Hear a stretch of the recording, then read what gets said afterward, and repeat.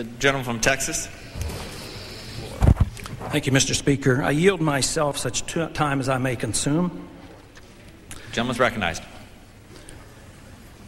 Mr. Speaker, uh, I understand this legislation came before the committee on Friday, one legislative day prior to today. There's been no committee report filed and is brought up under suspension. And I believe this legislation is very serious legislation. It is not a casual piece of legislation condemning a leader in another country that is doing less than honorable things. I see this piece of legislation as essentially being a declaration of virtual war.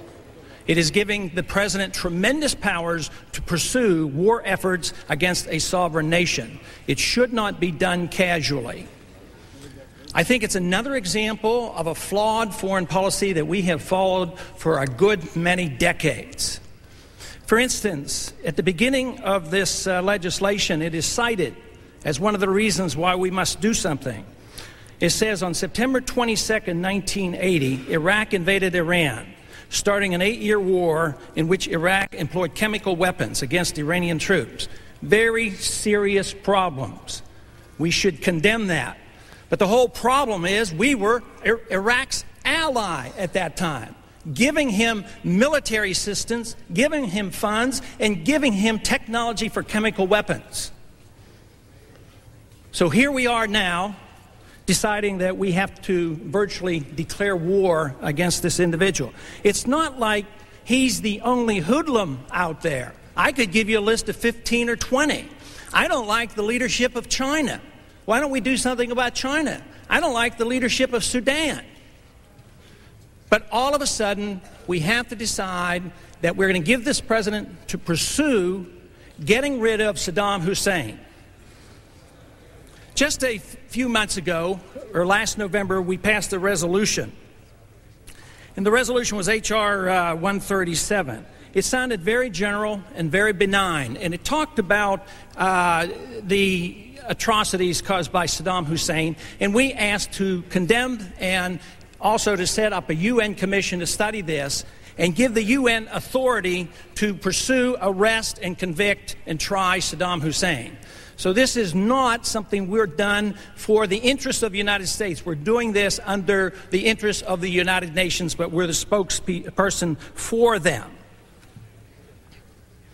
Not too long ago, a few years back in the 1980s, in our efforts to bring peace and democracy to the world, we assisted the freedom fighters of Afghanistan. And in our infinite wisdom, we gave money, technology, and training to bin Laden. And now, this very year, we have declared that bin Laden was responsible for the bombing in Africa. So, what is our response? Because we allow our president to pursue war too easily. What was the president's response? Some even say that it might have been for other reasons than for national security reasons. So he goes off and bombs Afghanistan, and he goes off and bombs Sudan, and now the record shows that very likely the pharmaceutical plant in Sudan was precisely that a pharmaceutical plant. So I say we should stop and think for a minute before we pursue and give the president more authority to follow a policy that to me is quite dangerous. This to me is equivalent to declaring war and allowing the president to pursue this.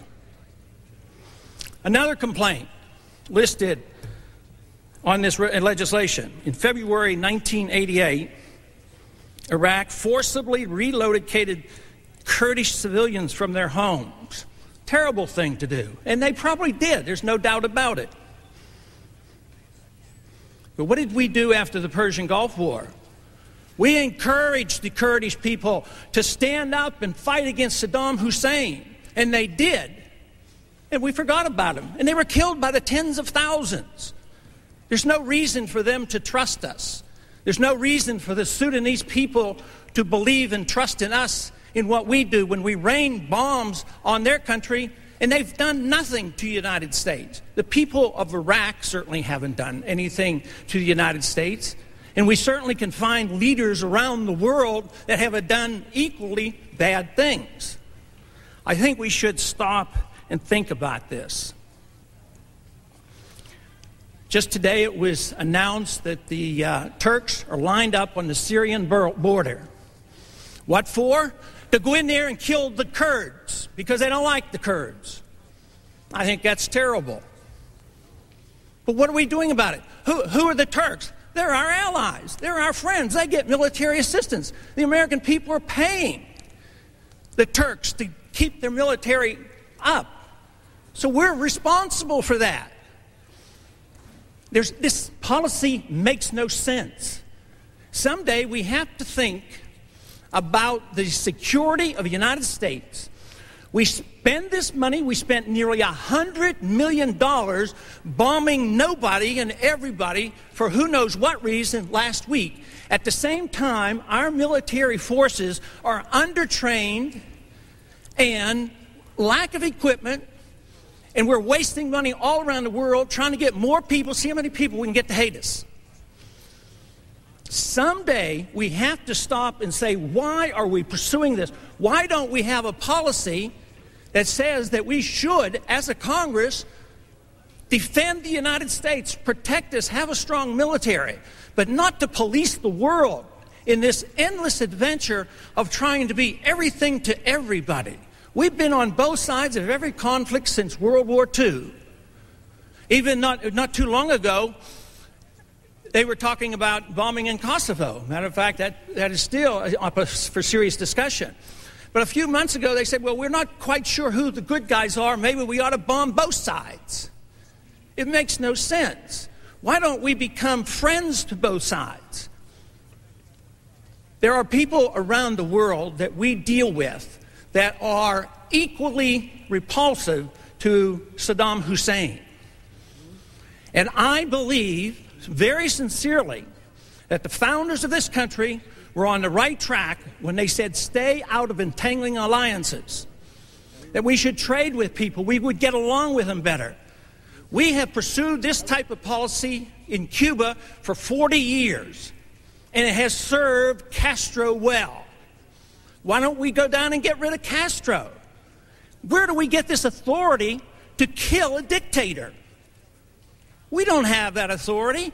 And to do it under one day of suspend, uh, one day of uh, hearings, mark it up, bring it up the next day under suspension. I don't understand why anybody could vote for this just on the nature of it. We, we should not be doing this. We, we should stop and think about it and try to figure out a much better way. I, for instance, am on a bill to trade with Cuba. Oh, how horrible. You shouldn't trade with Cuba. There are a bunch of commies down there. But we should be selling them rice and we should be selling them our crops. We shouldn't be bombing these people. And you know, at the end of this bill, I think we get a hint as to why we don't go to Rwanda for humanitarian reasons. Now, there are some atrocities. Why don't we clean that mess up? Because I believe very sincerely that there's another element tied into this. And I think it has something to do with money. And I think it has something to do with oil. The oil interests need the oil in Iraq. And he does not, Saddam Hussein does not, uh, does not comply with, with the people of the West. So he has to go. But also, at the end of this legislation, it tells you something about what might be going on. It is, uh, they are asking to set up and check into the funds that Saddam Hussein owes to the West. Who, who's owed? I, they don't owe me any money, but I'll bet you there's a lot of banks in New York who are owed a lot of money. And this is one of the goals to set up and make sure Saddam Hussein pays his bills. All I do is ask you to think about it, urge you to go slowly. Nothing is so pressing that we should give the president this much authority to go to war. Under the appropriations, it's endless, it's open endless. And here we are concerned about saving Social Security. Any amount of money spent on this bill comes out of Social Security. Yes, there was yelling and screaming about a tax cut. Oh, it's coming out of Social Security. Well, this money's not appropriated, and it's, it's such sums as, as necessary for military and economic benefits. After we get rid of one thug, we're going to have him in. I hope we make a better choice than we did with bin Laden. I mean, he was our close ally. Please think twice, slow up, vote against this bill. We don't need this. I reserve the balance of my time.